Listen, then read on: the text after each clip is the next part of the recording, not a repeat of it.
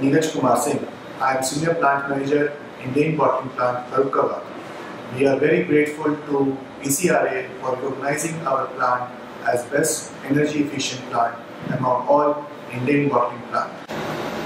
Now let me introduce my team with you.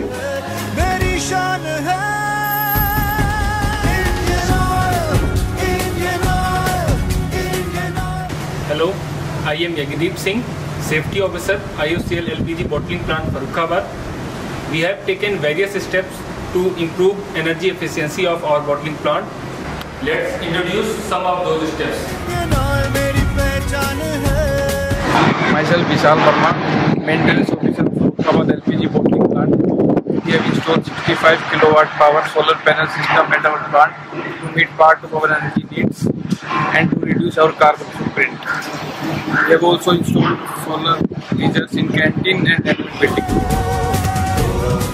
Hello, myself Ramveer Singh, Assistant Manager, Indian LPG plant Farukhabad. Place all our refineries with highly efficient LED lights.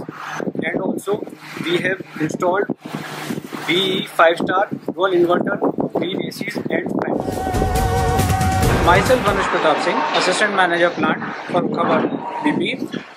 We have installed biodigester plant to meet few requirements in our canteen and we have also installed preset timer based lights to minimize the wastage of electricity.